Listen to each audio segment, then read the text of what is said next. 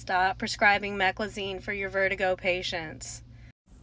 I'm in the same parking lot, in the same parking space of a Starbucks that I filmed this video on, and it got a lot of traction. Got a lot of questions going. So I just wanted to add a little something to this meclizine conversation, and that is that did you know that if you send the patient into their vestibular testing with a vestibular physical therapist or an audiologist or an ENT and they are on the meclizine whenever they go to that appointment that they might test false negative for things that they were actually positive for?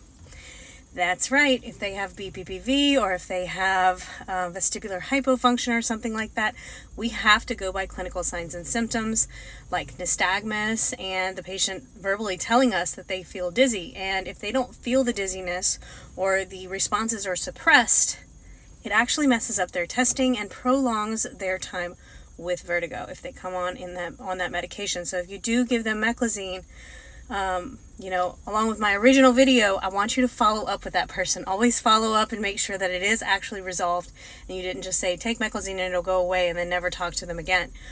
Also, tell them if you send them for a referral for somewhere specialized for testing, they need to be off the meclizine for at least 48 hours before that appointment. Please and thank you.